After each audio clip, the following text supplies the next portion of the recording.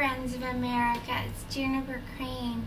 I'm coming to you from my underground bunker where I'm hiding until the real president is announced. Trump. And Joe Biden goes away. And I'm really scared. I have my guns here. And I know they're gonna come and get them. Hey, Juniper, come on out. We're good people. And, and I, good people. I a lot of Totally don't want to take away your guns. stocked up right, on Joe things. Biden? and, and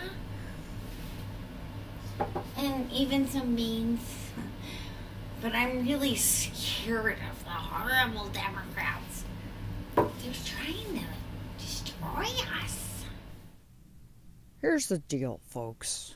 I, I want everyone in America to, to have a, a affordable health care. I'm going to give you the health care you need. Uh, I'm speaking right now.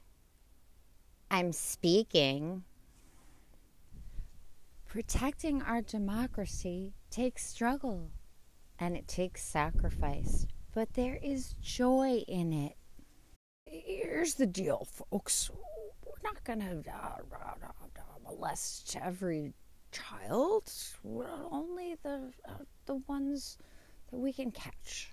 Joe Biden, can you pass me a cup of uh, uh, blood from one of those children that we've uh, de-blooded? Ralph, I miss you so much right now. I miss you. I really miss you. It's like you never left. In fact, you, you haven't yet. And you may never. And I'm supporting you. I love you so much, Trump. Hey, Joe Biden, can you pass me a slice of pizza along with a cup of um, child blood? Thanks. Joe Biden stands for decency. Joe Biden stands for science. Joe Biden stands for America. Joe Biden stands for an underground Satan cult that drinks the blood of children. This, everyone, is what I call my my pillow. It's a pillow of Golden Grahams. The cough is just nothing. It's from. I don't have COVID, of course. Never wore a mask, and I, I congregated with a huge amount of people at a Trump rally. I'll be fine in my bunker for the next four years.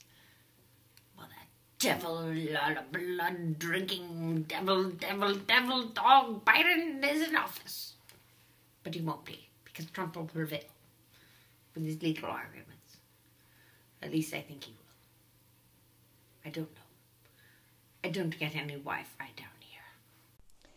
Get ready, America, because Joe Biden and I are gearing up to completely destroy America.